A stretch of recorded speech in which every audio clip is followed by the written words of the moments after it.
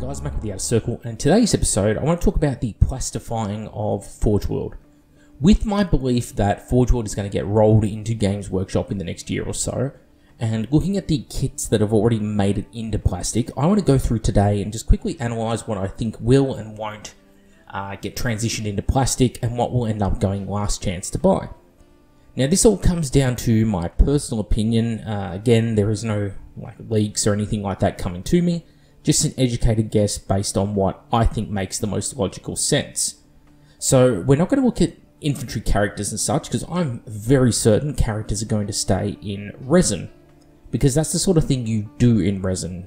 Finely detailed, low production quantities, not worth uh, making a die for because you're not going to sell enough of them. Versus something like Assault Marines, for example. Yeah, I see Assault Marines going plastic within the next year. So the first thing we're going to cover is vehicles. And when it comes to vehicles, it's all about the hull. So Aquitaurs, I can see them going to plastic. I think they'll be one of the last tanks to go into plastic for the Marines. Sheerly because of the fact they're a relatively new sculpt. Same as the uh, Sabre tank, which will be down here somewhere down the very bottom. I can see this also transitioning into plastic, but again, later on down the line. And that's sheerly down to the fact that they're new vehicles. I think the Vindicator, both the regular and the Laser Destroyer, it will happen sooner rather than later. Uh, the Damocles, I can see the Damocles and the Sicaran Battle Tank. So I should talk about both. I can see them not making a kit for those. Because I think with the plastic Sicaran already existing, they're more likely or not to change the turret design slightly and sell you a resin turret to upgrade your plastic tank with. That's what I think they would do. Uh, I think they'll do that with the Damocles Command Rhino. So you buy a plastic Rhino kit, you buy a Damocles upgrade, and it just gives you the satellite dish on the back and um, a little uh, roof pod plate, whatever, to mount it to. I think the same thing with the Sicarans here. They will modify the underside of the turret so they fit the new plastic Sicaran hull. On that note, with the release of the Whirlwind Scorpius in plastic, I think people who are savvy converters, uh, you should be able to utilize the Scorpius turret with a little bit of soft conversion maybe to it on the Sicaran Battle Tank kit in order to make a Sicaran Arcus. That way, you have a plastic Arcus, and it's only going to. I mean, if you bought a Whirlwind Scorpius anyway, it's just an easy turret swap for you. Uh, yes, the turrets are different between a Scorpius and an Arcus, but the Sicaran Arcus, it's a slightly bigger turret, the missiles are different on it, but looks for looks, it's close enough at a distance. No one's going to tell you off and go, oh, that's a Scorpius turret, clearly. You can't put that in a Sicaran called an Arcus. No, it's very clear what it is, so if you want to save a few dollars and you happen to have both those tanks already and you want to, you know, try the Arcus, that's a free suggestion for you. Mark 2B Land Raider, I don't see going to plastic. I see that one going last chance to buy. The Krios, I can see both variants coming in a single box set uh, later on down the line.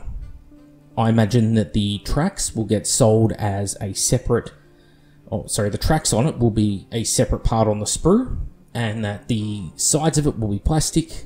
Uh, and rather than being cast as like a single piece of plastic, it'll be just the frame will be one sprue, and then what's underneath the frame, all the mechanical working parts, will be another sprue, and one glues over the top of the other to uh, form that whole shape. I think that's how they would do it. That's how I would do it anyway. So I can see that kit definitely making it to plastic as a dual kit that can do both. Same up here with the Karacnos and the Triaros. I can definitely see that going into plastic as well. Uh, quite an easy hull shape to turn into plastic, I think. Uh, I think they could do it as a single kit available to do both, but I would lean more towards them making the Triaros itself and leaving the Karacnos as some form of upgrade kit. I just. I don't know, with what they did with the Sicaran, for example, they didn't put any of the other main turret options in there. So I can see them you know, basically making the Karacnos more redundant because of that. Uh, again, I'm working off the theory that they're going to downsize this line. Now, the Dracosan, and, well, we have the fact that Solar Auxilia have come back into the web store, at least some of their stuff, in the form of Rapiers uh, and Surgeon Primus Joven. These have come back into the web store. They're still resin. They're the same old sculpts. They've just returned from last chance to buy. It may be forever. It may be for a very limited period. But they decided not to put them into plastic. They've also decided uh, not to put other things into plastic.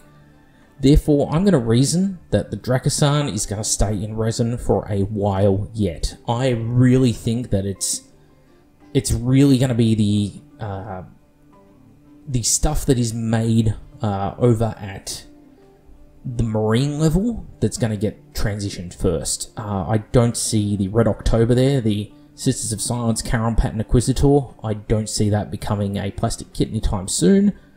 But the Termite could. Uh, it's a relatively recent model, only a few years old, so that could definitely make it into plastic.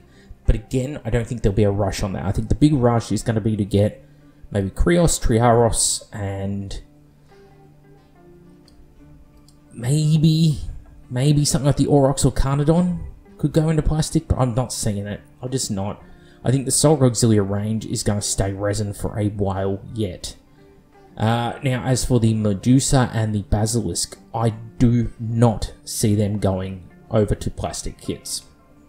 The kit is similar to the Chimera kit, which is starting to really show its age because it's quite an old kit uh, and it's upgraded with these resin components. So, also including the fact they weren't included in the main rulebook, I would lean towards them getting phased out over time uh, because they really don't like artillery in this edition of the Horus Heresy. They've nerfed it well beyond what needed to be nerfed to because, I don't know, people couldn't walk Terminators or Marines across an open table without getting killed by artillery because apparently the artillery players should suffer for that. I don't know.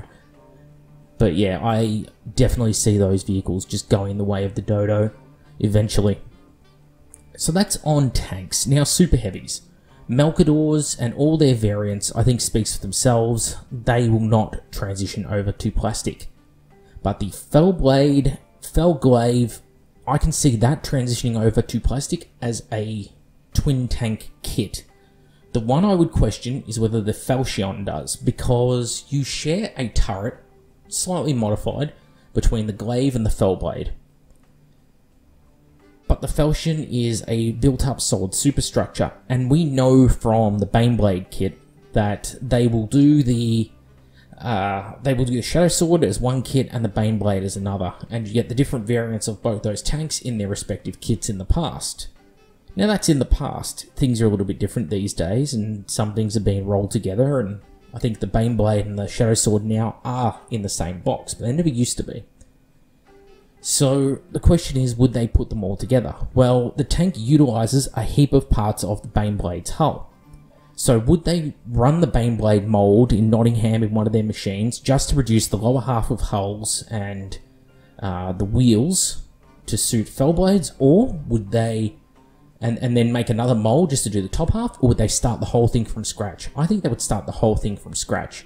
And I think that they would sell enough of the kit to justify the expense of doing so, based on the hype and the hyperbole. Every Marine player in 40k is going to want an awesome super heavy if they give it good enough rules and they make it in plastic. Because remember, Forge World terrifies a lot of people who only know plastics. So that there would be a guess. I think is like a big release would be the Falchion, Fellblade, Felglaive, maybe another gun variant in there.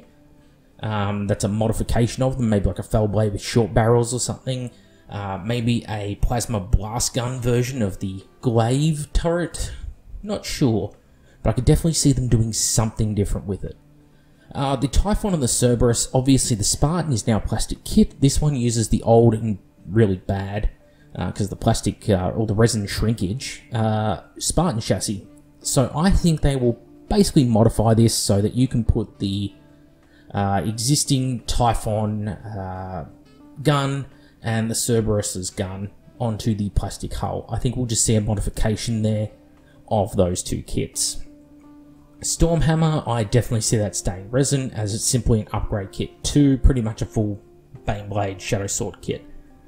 Mastodon staying resin, uh, that's well and truly in the size, so is the Gorgon tank of ultra massive super heavies like Titans, uh, and once they get up into that sort of size, they become such a bespoke boutique model that they're selling it on that appeal. So I think they'll stay in resin. Going across to flyers now. So Custodes vehicles will both stay Forge World. But Storm Eagle and Fire Raptor, I could definitely see them doing something with those to turn them into full plastic kits. Now, obviously, the Storm Raven exists already, and well, the both the kits utilize quite a few of the Storm Raven's parts. Basically, the wings, uh, large segments of the upper hull on the uh, Storm Eagle. It's quite a lot of uh, like doors and things like that uh, on there as well. Winglets but there is also a lot of resin components to it because it has completely different sides on the hull and different base plate to the hull.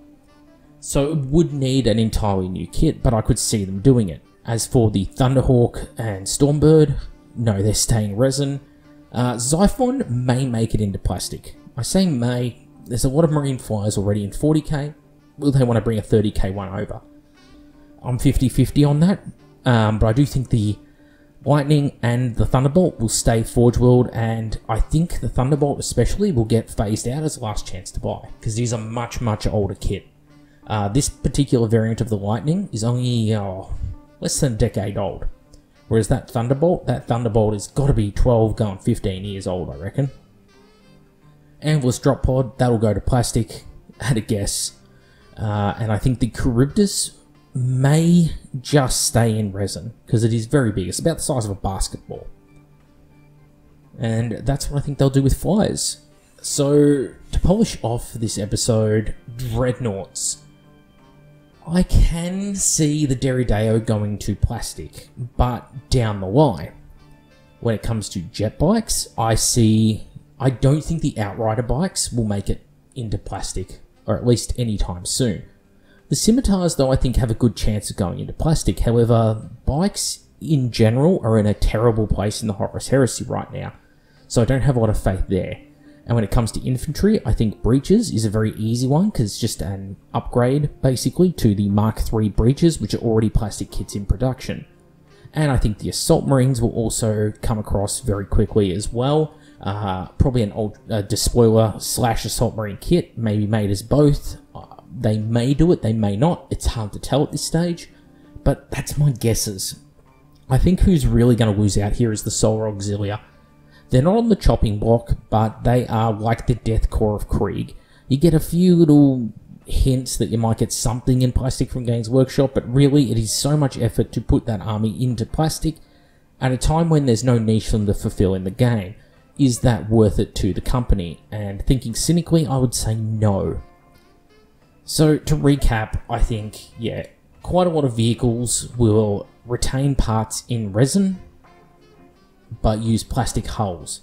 I also think that some, like the Kriaros, or the Krios, sorry, uh, and the Triaros, I combine that together like a, a I don't know, a Ben and Jennifer, a Bennifer. Uh, the Kriaros uh, combination will both go to plastic. And I think that when it comes to things like the Basilisk and Medusa, they will go last chance to buy. I think Vindicator and Laser Destroyer, two part, two build kit, easily turned into uh, plastic. And I think that the Sabre and the uh, Aquators especially will follow much later down the line because again, relatively new kits, they've probably got good stock levels of them and they need to burn through all of that first. More bespoke choices like Solar Auxilia, um, the uh, Custode, Sisters of Silence, that kind of thing, no, they will stay resin for a much longer period of time. And they'll just be available in some tab on the Forge World slash Games Workshop website because I honestly think Forge World is just going to become another tab on the Games Workshop website. But let me know what you think in the comments below the video. Anyway, that's it for me. I'm back with the Outer Circle. Thank you all for watching this episode, and I will see you all in the next one.